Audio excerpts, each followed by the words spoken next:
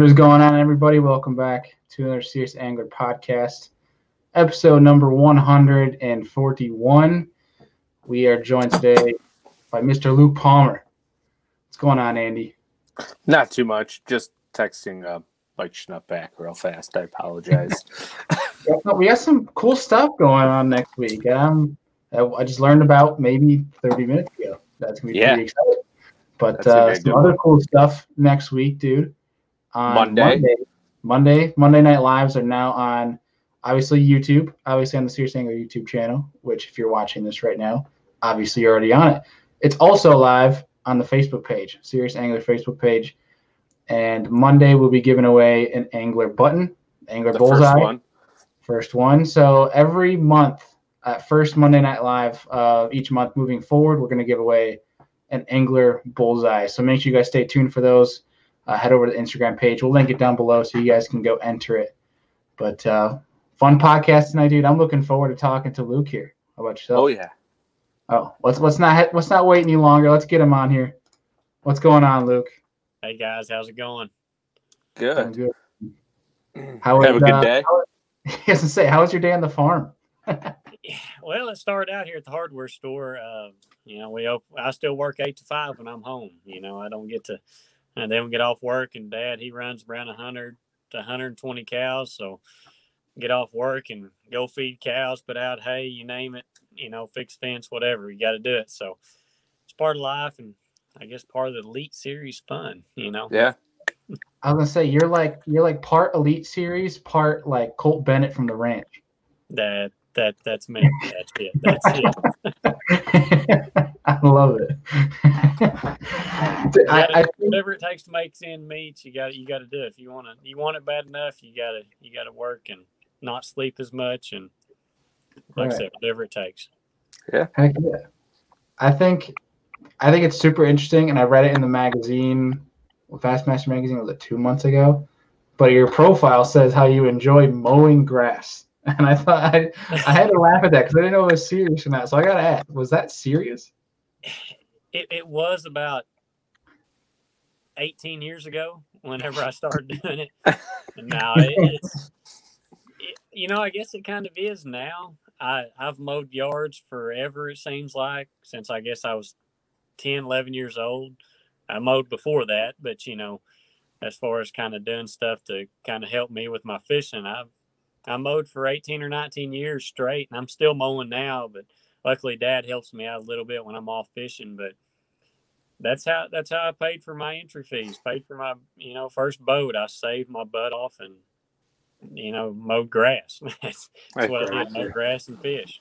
It's definitely paying off. I mean, we just looked it up, and your uh, 28 bass tournaments, you're what 26 times in the money. So hard work definitely pays off. So Yeah. congrats to you. That's a heck of a feat.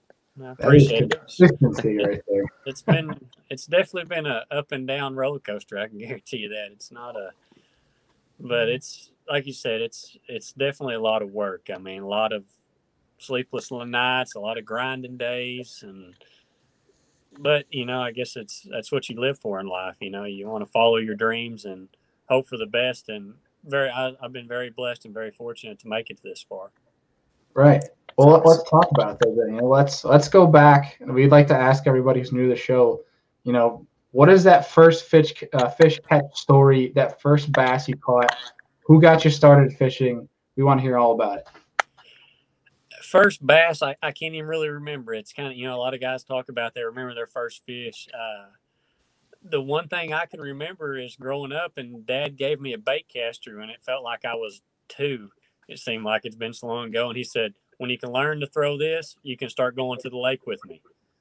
Well that backfired. About three or four days later i had it figured out you know and because i lived in town at the time then with you know my parents and uh and my dad got me started going and i just it's something that i could never lay down. It's i guess it's so addicting because there's no consistency to fishing you know i mean every day is different no matter if your weather's the same everything can be the same it feels like but the fish are different Mhm. and that's what's kept me hooked i guess my whole life i played basketball and baseball and you can somewhat control that you know to an extent um, and it just not not that I got bored with it because I worked my tail off at it. I felt like, uh, but fishing was so much different day in and day out. No matter how good you thought you were or how terrible you thought you were, that fish can change your mind that day within seconds and minutes, hours, whatever. It can change your life. It seems like, and that's what just kept me going over and over these. I'm 30 now, so 30 years of it. It seems like that's what I've just been driven to to to want to do. But my dad got me started, and um, and hell, me and him fished together for 16 years, I guess. 16. That's awesome. Years. Um, and that part I missed, you know, missing fishing team tournaments with him, but uh, getting him to watch, getting to see him come to the classic and watch me in that was uh, it was worth missing a few team tournaments with him. I think it, it, was, it was pretty neat seeing him there. I mean, I never thought I'd see him at a classic watching me. Yeah. Now, do they allow you to hop in team tournaments still every once in a while when you're at home? Uh, very few, very very few. They don't. And what's really bad is they not. I was I was consistent. I'm not a guy who weighs 30 pound sacks or mm-hmm. 25 mm. pound sacks. That's just it, that's tough to do in Oklahoma. And you got a lot of good guys from around here in Oklahoma. I mean, there's some there's some hammers. Oh yeah. uh, I was seems like I done a lot better in those championships, those two day tournaments, to where if you catch 15 to 18 pounds a day, you're going to do well. Mm-hmm. Uh, and that's kind of where I guess I've prided myself fishing up through here. You know, to get from your opens, your single tournaments to to here, it's I think that's what I've just I'm not I'm not a guy who catches a bunch of fish. That's what as you watch me on live when I am on there, it's uh it's probably slow pace because I catch six fish a day, but they're the hopefully the right six, you know, to catch yeah. that 15 pounds a day. Um, because Oklahoma, we're a lot of guys you what you know you might know Jason Christie. You ever heard of him? Oh yeah, he catches them pretty good. He, uh, you know, you watch him and he he's a grinder. You know, he, he doesn't catch a lot of fish and and that's a lot of similarities, I guess, when guys from Oklahoma we look for individual fish. I guess is con- compared to uh, a school of hundred because we don't have schools of hundreds. We might have hundred bass in the lake around here, and and you guys, I push for you know to catch those five or six fish a day, and I, have carried that to my elite deal. That's going to hurt me in winning one of these deals. I think one of these days. Uh, I've you know I've had a couple of close chances here in the last two years, and I've been I've been blessed to have those. You know, I'm, I'm very very fortunate with them, but but it's just I'm just I'm just a grinder, and that's kind of how my dad is. He's a grinder. I mean, he's 58, 59 years old, and he could work my butt in the ground every single day. I mean, and I've really looked up to that, and and he's been a very good role model for me because he's really pushed me to to do well in life and to not be satisfied. Mm-hmm. You can use that in good and bad terms, um, but he's used it for very good positive for me to really keep working harder to to make a better life, I guess you'd say, um, to push and want to be better than what I was yesterday. So that's, oh, that's been fantastic. good. Yeah, yeah. I mean that that 26 out of 28 tournaments. I mean, I think that just kind of shows for itself there, and that I think that kind of translates. So yeah, and those those two that I missed cost me making the elites in a couple years. So those are those are heartbreakers. Oh man. so well, I'd say you. I would say since then you're on the right track, though. I, I kind of hope to keep it rolling. I kind of you if you knock on wood, if you can keep doing that, you keep making those classics, and uh, the classic's a big deal. I, I didn't really get a good grasp of it. I don't think I, I went to I went to several from or I guess four I guess up till um, just going and watching them, and I never never really thought that I'd ever be there. But when I actually got there and they pulled them curtains back, pull you up on that stage, it's uh, uh it's uh not necessarily I guess life changing, but it uh it kind of gets you a complete circle in life, you know, for once. Mm-hmm. It's pretty cool. Hundred percent. Let's talk about the the timeline to, to get there. Like where where did you start tournament fishing and how did obviously you got you made it to the opens, yeah. but like I want I want to hear about where you started tournament fishing, and then that timeline to where you kind of realized I want to do this for a career? You know, like, like I said, I, me and my dad started fishing when I was 10, 11 years old. Tournaments. He fished up till that. Um, but, and finally, I, I don't know, things just kind of worked out. And it was like him and his partner, they were doing really well together. And I think my mom might have said, Hey, I think it's time for you to start taking Luke fishing. So, Oh no. I have to go ahead and thank her a little bit on this deal. But you know, me and him started fishing and we paid our dues. We we did. I mean, I I'm gonna say I was 11 when I started. We'll just use that. And when I was 13, I'll never forget. My dad we we're at Sardis Lake here. It's, a smaller lake in Oklahoma, but back then we used to have anywhere from 70 to 100 boats in that team tournament we were fishing. And there were some good guys that fished it. And we fished several different lakes. It wasn't just one lake. I mean, we fished six or seven different lakes in the championship. And uh, we ran to the first spot because, you know, that was when all we had was blast off tournaments. You know, there wasn't any, everybody can go to their spot and start fishing at six o'clock. This was, you know, at 5.30, boat one through 80 was taking off. And uh, we ran to our first spot and uh, dad said, get up there. And I was kind of like, I mean, I've, I'd ran the trolling motor a lot. He kind of let me do things, but he said, uh, it's your turn. That's kind of like, he said, I, I fished my, he said, I fished my time. He said, it's your time. And uh, from 13 on, I've made every single decision when me and him were in the boat. I mean, he was like, well, we're going to get our teeth kicked in for a while, I guess. So he, he was very patient with me. I mean, he, he would throw things in there. Hey, we ought to run, try this or try that but he really let me do it. I mean, and coming Best into way to now, learn. That was that was very big for me. I mean, I didn't understand it then as much, other than the fact that he, you know, he just he said, "Hey, I I've, I fished my time." He said, "I want to want to do well, but you know, we fished there and got close a few times to you know drawing a check, uh, you know, and and finally about I think when I uh, I played my last basketball game when I was my senior year, and we went and picked up my first boat, which I bought from, like I said, working my butt off. I'd take my mower to school with me as soon as I get out of baseball practice. I'd mow till nine thirty or ten o'clock every night, uh, and then we'd fish on the weekends. But he, uh, I, we went and picked up my first boat, and we fished our first tournament out of it. And I think we might have got it checked. We might have missed it, but the next one we won and my dad had, I'm pretty sure he'd won Angler of the Year before, um, but he'd never won a championship. And that next year, we won Angle of the Year and we won the championship in the same year. I mean, it was kind of like things are going to start going maybe. And we went along there and we ended up winning Angle of the Year four, five, six, seven times. Um, uh, we won some championships. We things just started rolling. And it might have been because I was fishing, you know, three, four, five days a week. You know, I'd mow my, Oh, yeah. I'd work my butt off for Monday through Wednesday, and then Thursday, Friday, Saturday, Sunday, I was on the lake.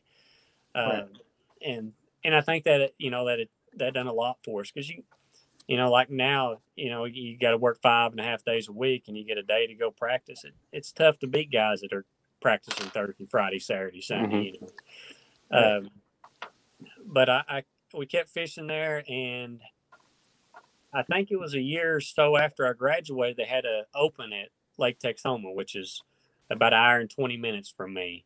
And I consider that now one of my home lakes, I guess you'd say. Um, and I was like, I was like, Lord, is if this is what I need to do, I want to get in the top five of this tournament. And thank God I didn't, you know, because I end up, I barely missed the cut. I, you know, back then they took 30, and I think I ended up 34th or 5th or something like that by a pound. Hmm. And that hurt because Yeah. I just won a championship or two up to that point. I had to go really thrash these guys, you know, show them what's up. I got showed what's up real quick. Those guys know what they know how to catch them, Mhm. and uh, which I was young and dumb, you know, and I, I wasn't ready. Um, a few years later, um, my buddy, who's hell, he's my parents' age, but me and him were like best friends. We do everything together. Went to classics together. Uh, he's the first one that said, "You're going to be on. You're going to be out here one of these days." And I was thinking, "No, I'm not. You know, it's just, it's just a dream." And uh, he said, "Let's go fish the opens." And they were on the Arkansas River, which is here in Oklahoma at Muskogee. uh, Red River in Shreveport, and the other one was the Atchafalaya Basin in South Louisiana. And I said, I don't know. I kicked around, said, heck it, let's do it. Well, I was set third in the points going into the Atchafalaya Basin, and that was the one I missed my one of my checks in. Oh, that man. was the difference between me making the elites and missing it that year. Definitely uh demoted myself real quick. And uh the next year, um, a lot of things happened. It just wasn't right here at the store. Um, I didn't feel like because the store has been the family for like 70 or 80 years. It's, you know, it's hard to, but things weren't right here as far as hands and stuff like that. And I'm not going to leave that. I'm not going to bite off the hand that feeds me. Um, I'm just, I'm just, I guess I like to be secure on things. Um, stayed here and I applied for them, but I didn't get in the first one. I said, well, I'm not going to know, go and fish the other two and not have a chance to make the leads. You know, I mean, Right. it's not pointless. It would have been a good opportunity, but I just, and a year or two went by, and that same guy, he said, "You better get your butt back in them opens. You got to try them." And then, lo and behold, I qualified that next year and and made the elites, and it's it's been a it's been a grind ever since. It's a fun grind, but it's you work for it. You know, you work your whole life for it, and you you spend those Friday nights working on tackle instead of going with your buddies, or Saturday nights Yep. going with your buddies. You know, I got a, I got a close circle of good friends, and and they understand it. You know, they said, "Hey, we'll see you in November." You know, November Right. to about January, and well, you know, that's they just they just know and they understand that, and they see my drive and what I want to do in life. So it, it's been cool to watch to have that support from them too. It's really good to have a good support group, especially friends and family. So Yeah. that's good. So uh, for, going on from there, you're almost done with your second year on the Elite Series. Where has been your favorite stop so far? I had I actually had a guy come to the store and ask me that the other day. He said, "Well, where would you go?" And I said, "Lake Champlain, hundred percent." And I don't know why. I mean, I I done decent there this year. Um, it was one of the places that I'm not an electronics guy. I'm from Oklahoma. We use a stick and stick it over the side of the boat, know how deep it is. You know, and uh, I really kind of got in tune with my electronics there. And you'd graft over them, you'd see them, you turn around, you throw them and catch them. It's kind of like Fun. it's supposed to be, yeah. Yeah. And uh, I, I enjoyed that. And my dad, we don't have, we have some big smallmouth in Oklahoma, but not that many two to five pounders. And uh, I always said, I said, I'd love to bring my dad up here if we could go anywhere in the world to fish. This is where I'd come. And, uh, but it was just, gosh, the practice was stupid fun. I mean, you'd pull up on a spot and you'd graft over, and it's like, well, there's six fish on this one boulder, and you'd make one cast, it'd be a four pound. You're like, well, you know, then you have to leave it alone. Yeah. And, uh, of course, tournament day, they disappeared. A lot of them did, you know. As, was- as per usual with brown Yeah. fish. but you know, it was it was funny. I uh, on day two, I struggled the first day. It caught me eighteen something, and day two, I didn't have anything hardly. And uh, I mean, I, I might have had close to the limit, and I grafted this spot, and for fifty yards, it was solid fish. And I was like, no way. I mean, those are there's no way those are bass. I mean, they look like it. They were set up like it. And I turned around, my first cat or first drop was like a three and a half, and I said, "Uh oh," and it was just fast. I mean, I would throw one in the live well, and I'd look at my graph from the back, and you'd see them streaking. I would just throw a drop shot up there, and before it get to the bottom, I'd be loaded up again before I even got the troll motor. That's awesome. And, uh, That's and uh, all of a sudden, you turn a couple of two and a half pounders loose, and you see them streak under your trolling motor back to the group, and they're like, "Yeah, we know what's going on here, guys." And they, They, they stop biting. Yep. It was the funnest thirty minutes to an hour. I, I mean, like I said, it was as fast as you could throw it in there. It was fun. It'd be a if you had a team tournament, it would have been a blast. Oh yeah. But uh, but it, like I said, it was a fun fun place and interesting place. I mean, you can you can do anything if you want to go flip. I went and flipped milfoil and caught fish doing that, and and I'm not even a spinning rod guy, but for some daggum reason, I had that spinning rod locked in my hand, and it was kind of fun. You pick up, and it's a three or four pounder on it. You fight them around for two hours. it seems like. Uh, good old fairy rod. I don't know how many I boat flipped. Three and a half, four pounders I boat flipped. Oh, that's They so much go- fun. You would be You're talking up Andy's alley right now. but hell, they'd be jumping everywhere, and hell, they jump and hit the side of the boat. And you're like, next time they do that, they're coming in the boat, and you just Yep. hell with it, and then just go to jumping at them and throw them in the boat. It was it was fun. I mean, Oh. that it was a very interesting place. Uh, I mean, but you know, I'm a big rod guy. I love braid, big stick. I love cramming it down their throat and flipping them. And uh, you know, I had a, I had a good tournament at Guntersville this year, and Yeah, I think you got third, right? yeah, I've for three weeks straight, I had an ounce and a quarter weight in my hand. That's I mean, amazing. I mean, that, and we don't have grass in Oklahoma. There's a few lakes, don't get wrong, but nothing like where we'd been. You know, Yeah. grass flats and stuff, and and trying to learn that was interesting, but it, it was fun. I mean, you when that punch rig drops through there and they just cremated, it, it's it, it gets you going because you don't know what you're going to set the hook on. It could be a ten inch or it could be a ten pounder. Right. You know, I guess that's the the fun part of it. And I- but I like Yeah. to flip period anyway, so Yeah. you don't even have to be accurate when you're flipping grass either. Just flip. You know? so it's, I got. I'm gonna have to Crash your way through everything. Just That's it. Let it fly. and then you get a ten incher and you set the hook and it comes flying past you and you're just like, oh crap. Poor guy. next time you decide to halfway set the hook and it was big, and you're like, well, Yeah. that was. That was dumb. that was. Oh man. So further ado then, are you looking forward to fork? I am. You know, I I ended up 11th there last year, and it's aggravated me ever since because I was catching them how I love to fish with a swim jig in three inches of water. It seemed like. I mean, it was. Um, I lost some really good, you know, five to seven pound fish there on a swim jig. It just wasn't meant for me to make it. You know, I mean, that wasn't my plan um, where I was supposed to go, and and it, but I had a fun tournament that that week. I mean, it was it rained eight inches, so that's good because the lake only come up eight inches because it didn't have much drain, but it kept the water dingy and them fish were still up shallow. Um, this one is going to be a little interesting. Um, up till Saturday, I think the weather has been very warm here in Oklahoma, and you know it's two and a half hours south of me, um, but it's been warm.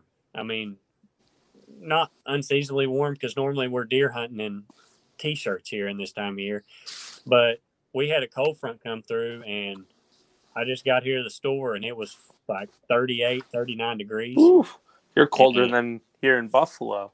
Yeah, it, it was miserable. Um, Oklahoma City had major ice storm. I mean, there's not a tree in Oklahoma City that's not just cracked all to heck right now because ice. You know, because leaves are still on. I mean, we we weren't even changing colors here yet. Um, That's crazy. let- That's early. Yeah, it's it's very early. I haven't seen this type of temperature in at least 15, 18 years. Normally, it's- like I said, it's 75, 80 degrees.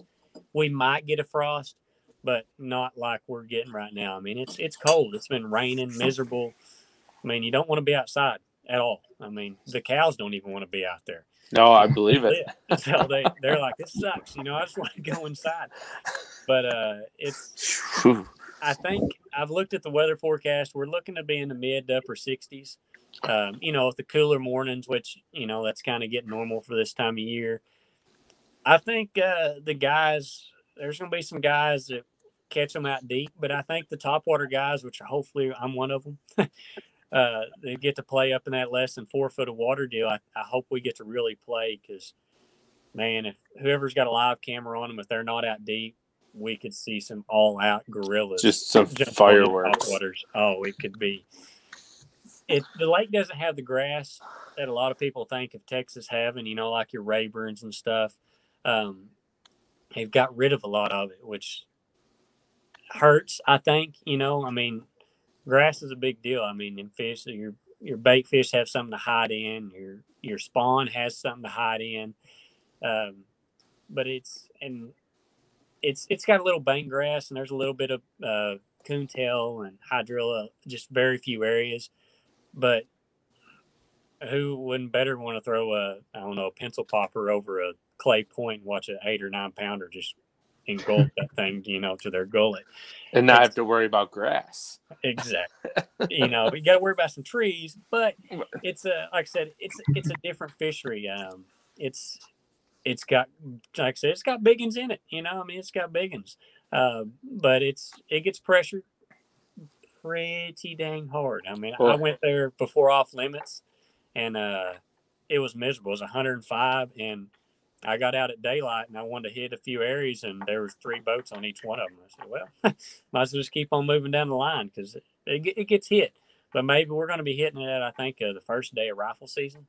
So there might not be as many boats out there fishing around on it. Fingers So- crossed. yeah, we uh we might hit it right. You know, we've Guntersville was tough. It got really good a week or two after we left. Uh Chickamauga was the same way. I mean, I think right after we left, it was like four, five, six days later, it's like all of a sudden the gorillas showed up and it was like, oh, let's start biting. And uh, so I think they caught them then. And but I think Fork's going to be a place that it's it's got big uns in it anyway, and there's going to be some seven, eight, nine, maybe ten.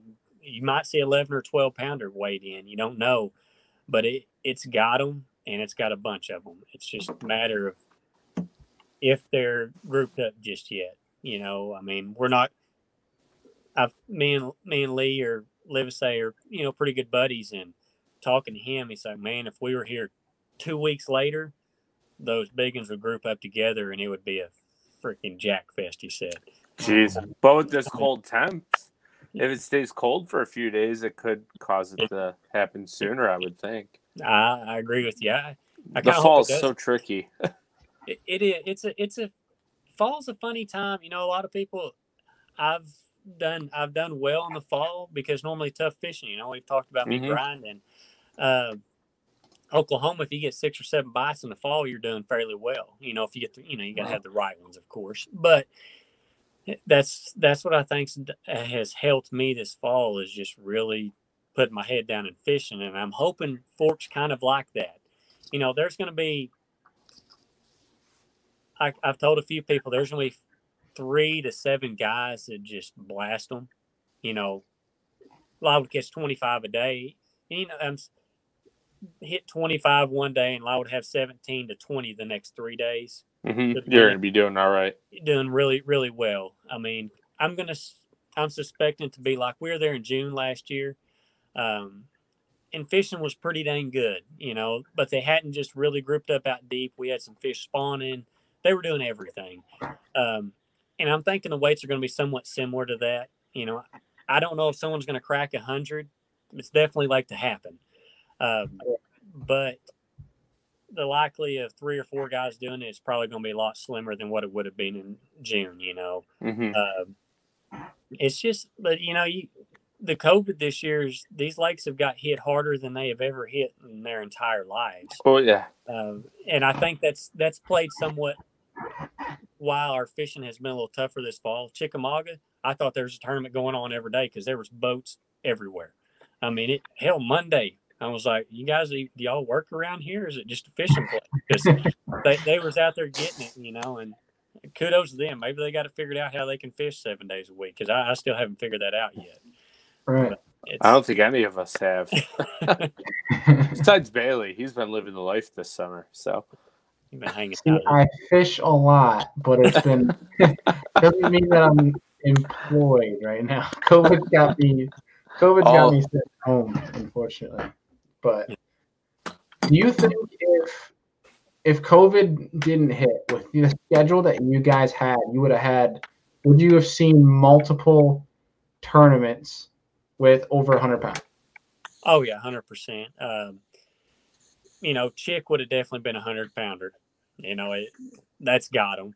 Santee Right. Cooper would have been another hundred pounder.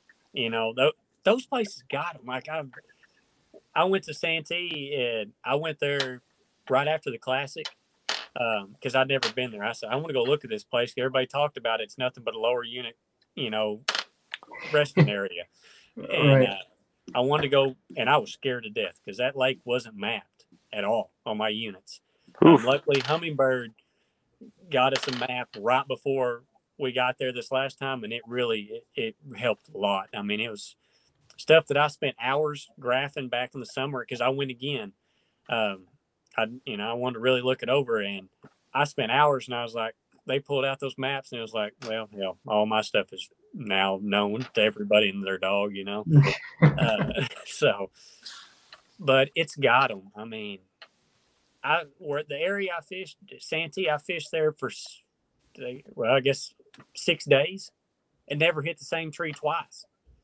I mean, it was just, and I only stayed in one area pretty much. I, once I got some bites, I said I'm going to figure this area out, and I somewhat did, but not good enough.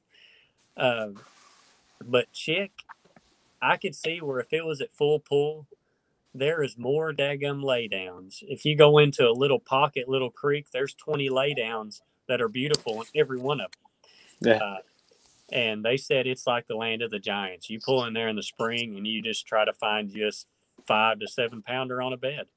And that I don't that would be unbelievable to me. That'd be like going to a stock pond. Yeah. You know? uh, but Big I, we definitely seen those for sure. And Fork putting us there. We was going to be there again in. I think we was going to be in June. I think. Mm-hmm. Um, this year, the way the weather and everything was, those fish had went ahead and would have been out there on their deeper stuff.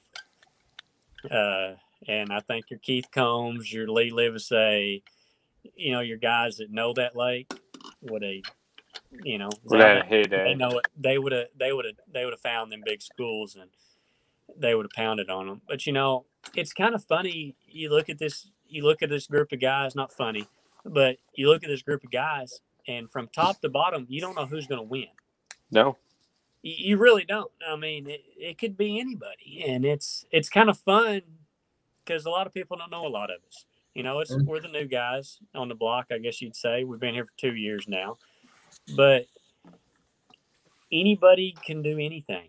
You know, I mean, it's you bring guys who, you, for me at Chickamauga, I didn't know anything better to do than what I what I what I've learned, and you know, I, I wish I could have done a little bit better in that one, but you could have pulled up on the right stretch of grass like Lee did, or the right pocket or two. And just guy from blew Texas, it. all of a sudden he wins it. You know, you, you don't know, and it's it's kind of exciting because you know it's kind of like a, bad news bears in a way sometimes. Yeah. You know, I mean, it's I think that's that's made it more exciting for me, I guess, watching this group and getting to know this group of guys, and it's been a bass has been fun the last two years. Yeah. If that, I mean, it's it's been a it's been more of a family oriented deal, I guess you'd say. All of us get along. I mean, you know, you're going to have a couple of guys and it doesn't matter what you do, aren't going to be jivers with everybody. But right. this is kind of a cool deal. You look in line, someone holds up a Gussie helped caught that nine pounder at Santee, and I I was right behind him. I was like, "Great, Gus, thanks a lot for me. You know, I got to go up behind a nine pounder, and my five won't weigh nine pounds." And it was everybody was like, "You know, hell, Gussie, that's awesome. You know, good job, man. Congratulations." You know, it wasn't no like I want to cut your bag open and let the fish fall to the in the tank and you not go up there at the fish type deal. So it was right. It's cool. I mean, I, have really really enjoyed the last two years. You know, it's you know Bass. You know, you got Davy Hite. That guy's a cool dude. If you can ever get him on here and talk to him, I don't know if you have, dude. He's awesome. I mean, that'd be, that'd be awesome. Yeah. You want it. You want a good guy that can really show you the whole entire ropes. He's been there through it all with Bass, you know, and and really a good dude. I mean, and then you got Ronnie Moore, Bowman, those guys. it's a lot of fun working with them.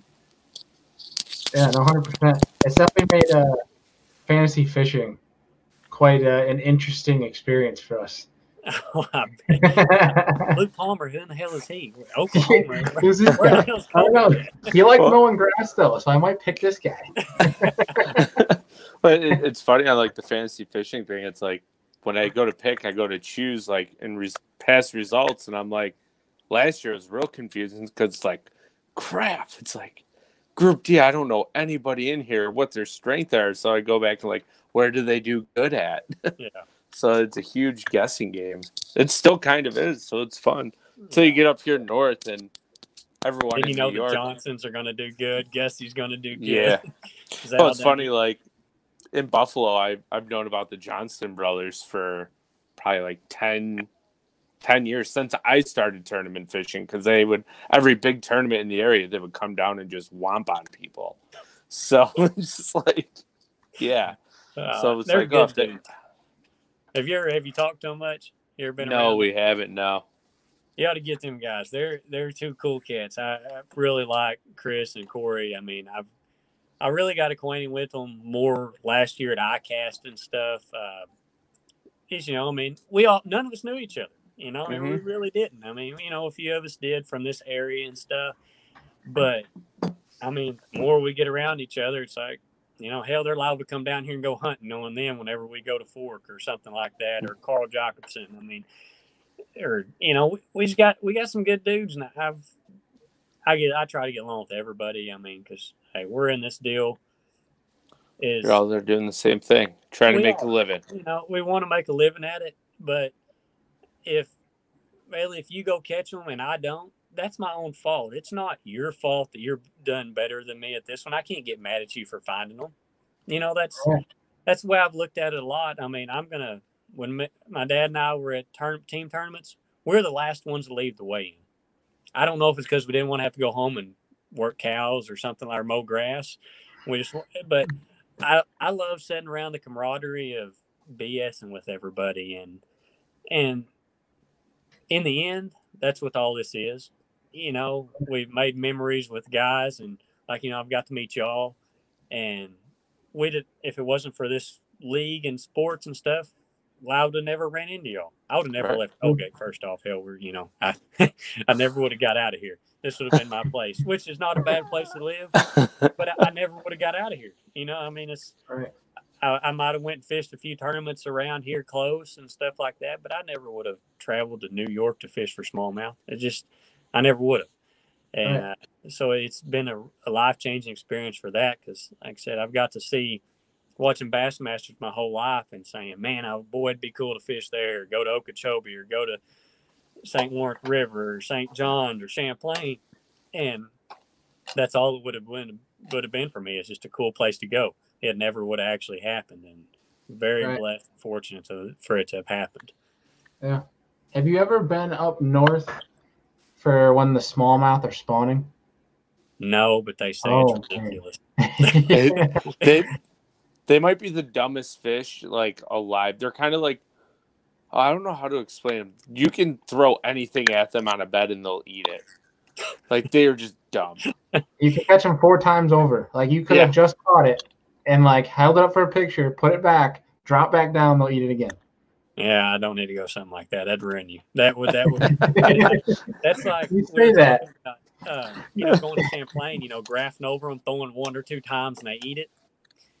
Hey, you come down here and you think your graph's broke. You graph over these fish, and you're like, hell, those are fish. My graph's lying to me.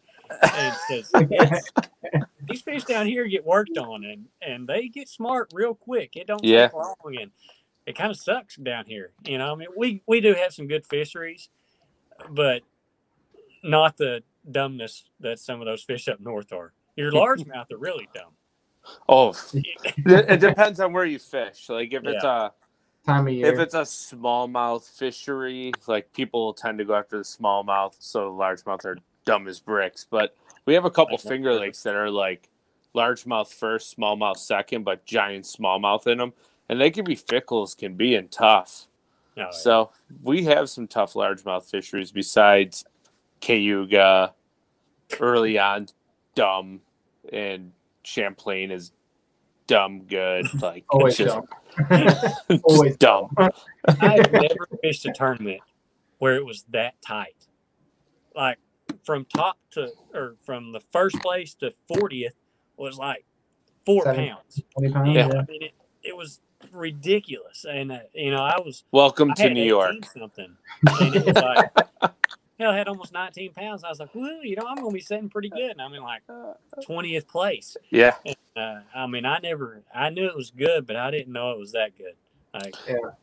I thought it, I had some it ruins a lot of people because people are like, oh, I can, I can crush them, and then they go down to Pennsylvania and they struggle to get bit, and like, what's going on? New York yeah. is definitely a different place to fish. Oh, it's it's it's a very special place. I mean, it, it really is, and I just hope we can keep it that way, you know, for yeah. years to come. Because I know this year it got pounded. oh, you know? oh, it definitely did. COVID so, really put a damper on some of our favorite lakes to fish, and it's like, man, I can't even get bit. Like, what is going on here? And then only catching 30 a day instead of 120. Oh, I mean, like there's a couple of Finger Lakes where we struggle to get like six, seven bites a day Oh wow. because because they spray them and there's all kinds of weird stuff they do with our lakes. Yeah, I August, so- September, August, September time, say like on a Cayuga, where it usually, you know, any other month out of the year, Cayuga it'll take over 25 pounds to win. You know, It was And taking the- like what 15, 16. no, I mean at S- September, what was it the 15th, 15th September that we had our federation tournament. Oh here, yeah, and there was a guy that got, I think it was fourth place with two fish. It- yeah, it was brutal, brutal. Oh, I had wow. top time with one fish that was two pounds as a co-angler. Holy cow. so Yeah. That's what we were at Cayuga last year. I'd never seen anything. Y'all got lawnmowers for grass out in the water. yeah. I mean, Yeah, we, we hate those. Absolutely. yeah, that was.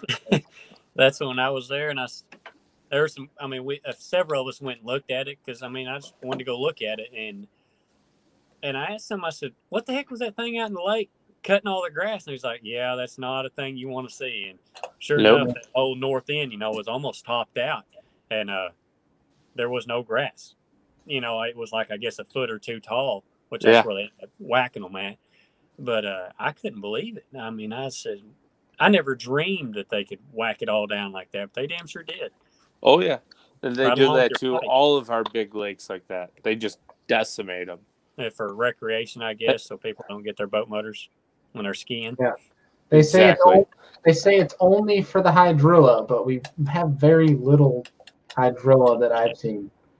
It Yeah, We have a lot of coontail. We have a lot of milfoil, and they're killing all of it. They're only going over the milfoil and the coontail.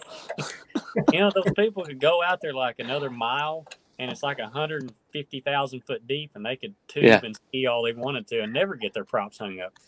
yeah, right. But- it- that's all it But is. they have to do it where it's ten foot deep and rock piles everywhere. Yeah. it's like, what are you doing? yeah, Oh, it's frustrating, but, It is. I, ca- I but imagine, it's, you it's so special. So we had some lakes down here that finally got a little hydrilla in them, which it it's liable to flood and the lake go 20 foot high and then they suck it 10 foot low here. Uh, so our grass, you know, we don't have it. And we did have some hydrilla in the lake and uh, it was getting real pretty. And they had the college, they had a college tournament over here in Oklahoma. Um, I don't know if it's a championship or something, but the guys won it fishing hydrilla. Yeah, two years later, that hydrilla is non-existent. They went and sprayed every bit of it, killed it all. I mean, and it just, it Oops. killed, I mean, I kind of got the key in on that stuff before people really knew about it, and then all of a sudden it's gone now. So that's done. So shoot. Dang. it's what it is. Can't do nothing about it. They sprayed it, and now you gotta go find pound and a halfers everywhere. Yippee Oh, skippy. Eesh. So Hmm. I- I'm curious. So obviously, you know, we talked earlier, 26 out of 28 that times in the money. You know, what would you say is the biggest testament to your consistency? Is that just you being able to being comfortable to adjust the different patterns or is it a strength that you have that is just more versatile region by region? And what do you what do you think that is? you know, a lot of people have their favorite baits, um, favorite way of techniques of catching fish. I don't have that. If if that, I mean, don't get me wrong. I would love to go flip grass or flip bushes, you know, or whatever. But I don't. I don't care what I catch them on. I just want to catch fish. You know, whether if it's picking up a. You're probably gonna laugh about this. I didn't have a spinning rod till last year. Did not own one. That's fine. I I went trout fishing in a stocked river they have over here by my where I went to college at. It don't really count when you got a five foot spinning rod, you know, with a little bitty rooster tail on it. But I don't I don't care what I catch fish on. I mean, I could catch them punching, I could catch them flipping a eighth ounce weight or a Senko, or you know a bad mama. It, it don't matter. I, I just love to catch fish, and I'm very fortunate here back home. I have some. We consider them lakes, but they're like 20 to 50 acres and they're private ponds that I'm able to get on. And you can catch fish on about anything. That sounds like fun. It is, I mean, you know, to an extent, you know, but you can take, uh, I don't know, is there a spook? And if you haven't caught very many fish on Zara Spook, you can go throw that and get confidence throwing it. Um, this off season when COVID was going on, we went. Me and my dad go there together. You know, just because we want. I want to fish with my dad as much as I can because you know you just, you want to spend as much time as you can. Right. I took a spinning rod and a dinger and wacky worm almost exclusively because I had no idea how to do that. Wow. It, it sounds stupid. I It sound, you're like, are you kidding me? This guy fair enough. Never threw it. I didn't throw one. Barely knew how to rig it. Had to look mm. on TV how to do it. Oh, jeez. Uh, yeah, I mean it's pitiful. I mean, I, have literally I've been with a broomstick my whole life. I mean, with those spinner baits, square bills, and flip a jig here, and uh, that's incredible. But I, I really think going and doing that stuff has really helped me to get comfortable doing certain things because that that mm-hmm. those ponds, whatever, they have grass in them. It's coontail, but it's some of it's out to eight or nine foot of water.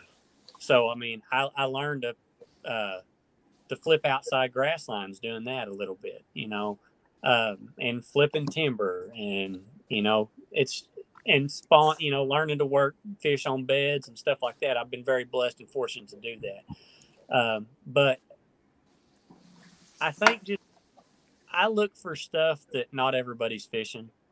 You know, I don't I don't go and fish the complete obvious stuff. You know, I might fish two docks in the back of a pocket that someone's like, well, hell, I'm not going to stop and fish that. That's wasting my time. I'll go catch that one fish that's there. You know, that's one more fish and I'm closer to catching my fifth fish. Mm-hmm. Um, and I, I mean, Davy Davy Hite and I were talking um, at Guntersville. He called me because you know they kind of called to figure out kind of what we're doing on live to be able to talk to us.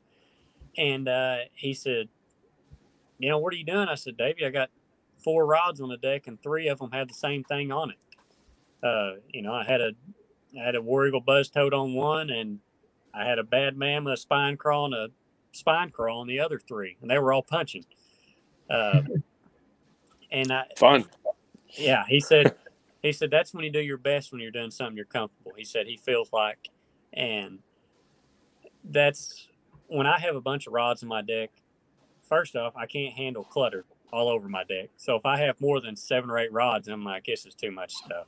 You know, I got to start putting things up. But to me, I, I, I have backed up to simple stuff, you know, doing things you're comfortable with because I took from uh, Lake Eufaula this year when we were there. There's bank water, willow grass all the way around that thing. My dumb butt spent two days graphing. Hmm. I mean, don't get me wrong, it was eventually one out there, that's not my strength. The first day I went out there and I was kind of not necessarily lost. I screwed up, had 11 pounds. The next day I said, I'm sticking this water wheel stuff and that's it. Had 17 and a half, 18 pounds. you know, I mean, it's just like when I left there and I was like, you idiot, you know, go to what you know. Because if you're fishing against these guys and you're going to do your weaknesses, that's it's surefire way to lose every time. Yes. And and you you have to be comfortable in of what you're doing. You know, it's it's like me mowing grass. I can I'm a weed eating son of a gun. You know, I know what I got, know what I can use, and know what what I feel good with. That's what I can go do. And the same with fishing. You know, you, you got to do that. And yep. I'm I'm a guy that's less than five foot of water. I mean, that's just if I'm not stirring up mud with my trolling motor, I'm lost most mm-hmm. of the time. And uh, it's, I mean, don't get wrong, you've got to learn to fish out there deeper. Champlain, I learned a little bit there, and I've learned to drop shot off my graph and do things like that. But you go back to your strengths, and that's that's where you're gonna feel comfortable, and you're gonna do better. You know. Yep. Right, hundred percent. That's awesome. And you got anything left for Luke? No, that that was great. We're gonna hit him with the last question here. I I assume. Right. Yeah. So, Luke, our last question for you. We like to ask everybody new to the show. Uh, and that question is if you could sit down and invite three people, they could either be alive presently or 400 years ago, doesn't matter. They don't have to be the fishing industry. If you could sit down, invite three people to say, have a steak and a beer, who are you going to invite and pick their brain? Zona. Okay Can I have four? Can I have four? Can I have four? Yeah, you can have four. Go I'm gonna have Zona. This is gonna sound y'all are gonna be like ah BS. Zona, Davy Hite, Mercer, and Ronnie Moore. All at the same table. Those are you have so much knowledge from top to bottom with those guys. Ronnie Moore, that kid, I say kid, hell, he's just a few years younger than me. He has so much knowledge about the sports, fishing. I mean, I could say, hey, Ronnie, what happened in 1984 in the Classic? He'd be like, well, Hank Parker come in third, throwing a spinner bait and laydowns at Texoma, whatever. He's very good at that. I mean, he could fact check all of us. You know, and Mercer, he, he just hilarious. he's Mercer. I, I, love the guy to death. He's he brought me out of my shell. I mean, I'm I'm a very quiet, laid back guy. I really am. I'm very conservative on things. Um, that guy brought it out of me. The more I've got around him, the more me and him really hit it off, and I really like the guy. Zona, he his knowledge of fishing, period, because he's talked to the greats. He's talked to Van Dam. He's been around Edwin, Clunn, he's been with them all. He's fished with them all. So I can just take I can just pick his brain. He knows everybody anyway, mm-hmm. so we can just pick his brain and get everything out of him. but he's a good guy. I mean, man, the and Davy Hite, you can't say enough about that guy. I mean, sitting back with him and you could sit there and have a steak and a beer with him and you could learn more in 30 minutes than I ever learned in my lifetime of fishing probably.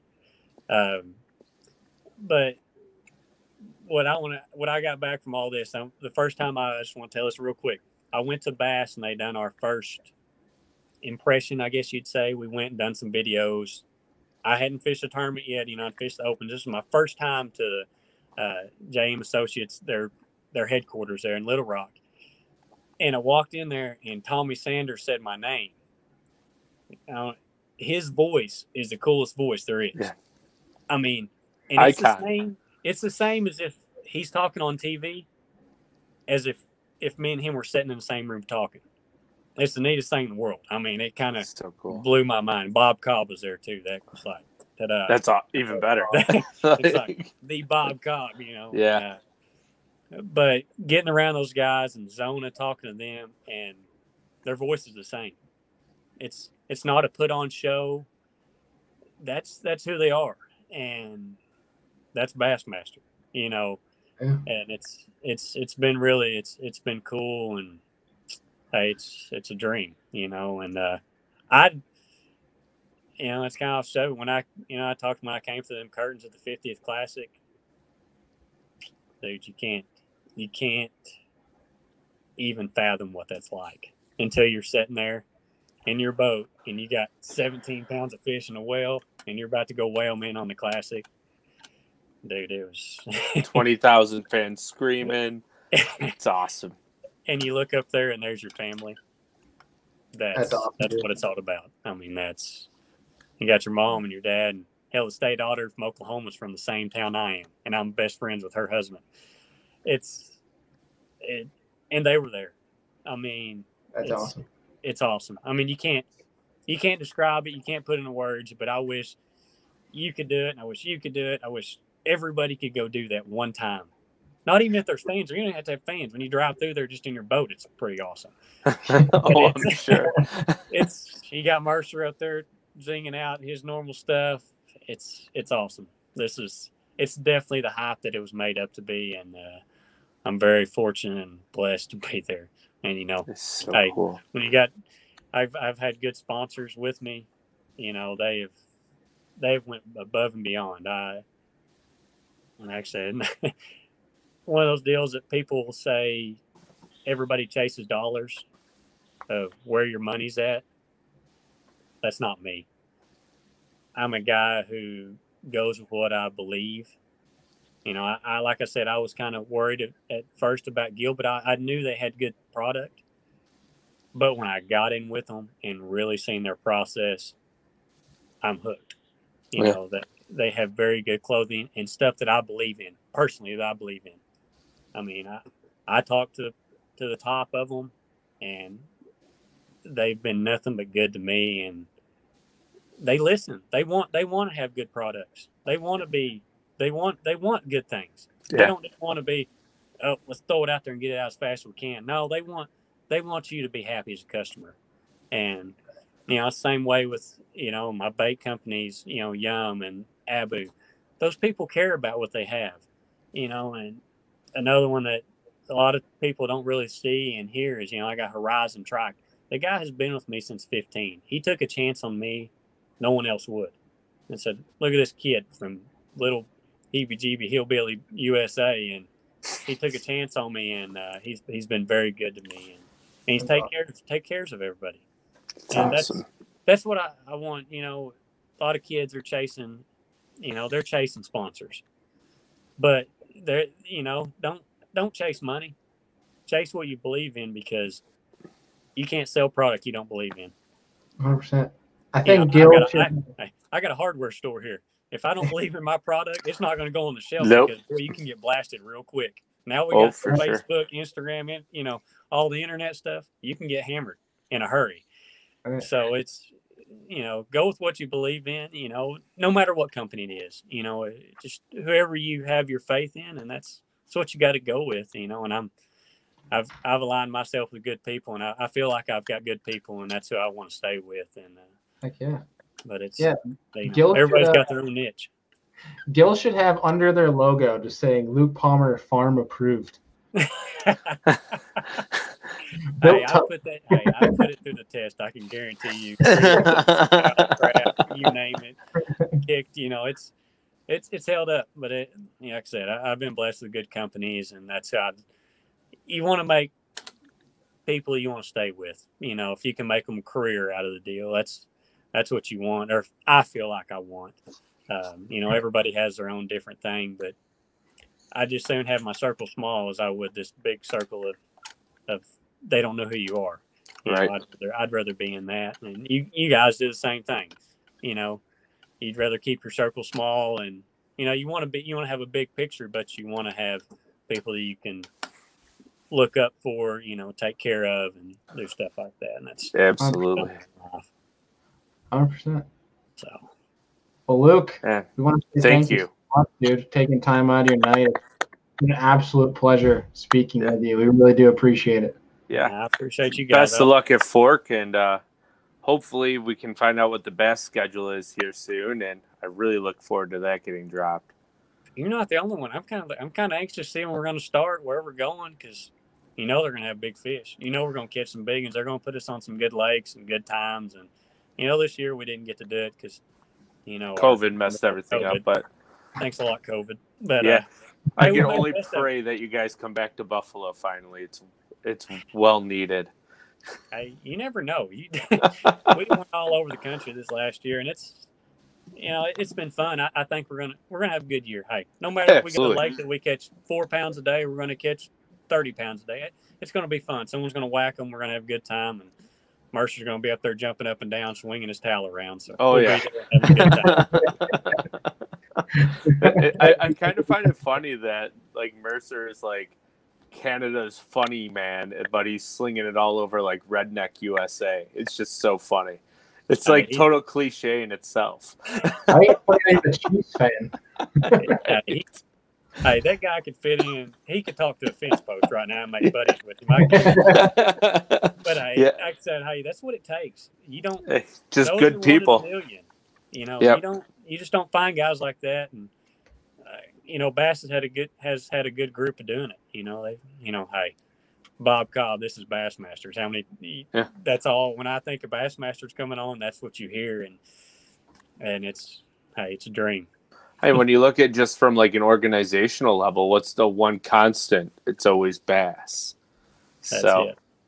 I hope it stays that way. As long too. as I can stay there anyway. I hope I hope it's here for many more years. I mean, it's it's a fun place. I mean, you know everybody's got their different views and i respect that you know that's what that's that's their thing but hey i'm a bob cobb fan i can't leave without that. Well i mean as long as you stay in like the 90 percentile of catching checks i'm sure you're uh, gonna stay in bass for a quite quite a while so until you're done with it. I, I, I, hope that happens. I mean I, yeah. i'm waiting for that year that's not going to be good but you know, and that's going to happen. I mean, it just is. I mean, you're going to have your ups and downs, but uh, like Palaniuk said, I mean, I've become pretty good friends with him and Jocumsen. They're they're good dudes too, and you know, we call it luck, but Palaniuk says uh, where opportunity meets preparation.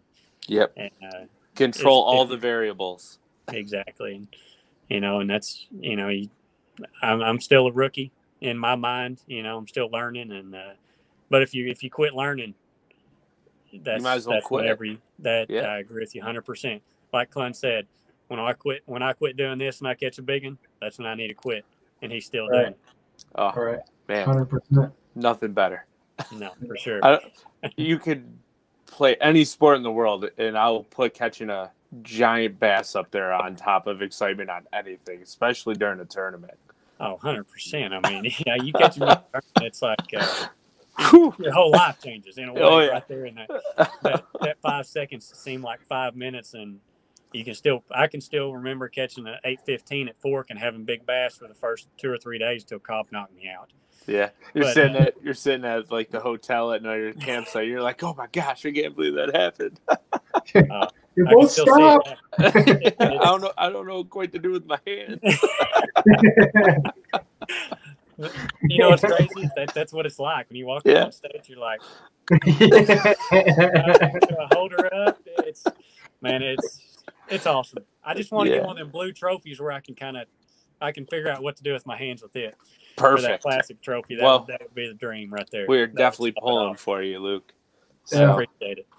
I would absolutely love it uh, when I'm watching live on Fork. If just for a second, if you just went and just did this, like I don't know what to do with my hands. hey, if I catch a big one, it'll be like. Um, there you go. There you go. I, it'll happen. Promise you. I'm we'll be watching. A little shameless, uh, serious angler plug. Yeah, yeah. throw it out there. well, man, oh, it'd be awesome. Well, Luke, thank you again, man. Yeah. It's been a pleasure. You're always welcome on the show, dude. It's been awesome talking to you. Yeah, thank, thank you again. Appreciate it. Yeah, you have a good night and get some sleep. Nah, yeah. I got to go order now. Hell, I got oh. I got work to do. Oh, man. well, well, good luck and uh, take care. Obviously, get down to Texas safe, and uh, yes. we'll, we'll, be rooting for you, dude. All right, guys. I appreciate you. Thanks for having me on. Yeah, you have a good man. night. Right, take care. Thanks. I really hope he does the hand things at Fork. Oh, me too. That'd be freaking awesome. Just like, I would die. I would die because I'm gonna watch, obviously. So I, I would oh, yeah. die. I, I would screen record it and put it right next to Will Ferrell. I'm Ricky Bobby, and I don't know quite what to do with my hand.